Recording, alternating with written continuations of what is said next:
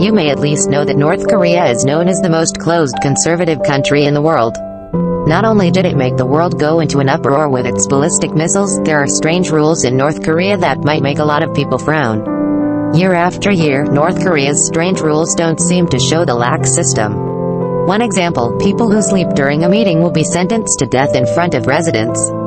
As a very close country, North Korea also applies a number of strict rules that are quite strange. The country that was formed right after World War II has a population of about 25 million people and has been ruled by three men from the same family since 1948. Even though the leader has changed, some of North Korea's strange rules remain unchanged even if the citizens just fold the newspaper it will get severe punishment. That's because in these newspapers there are many photos of North Korean state officials.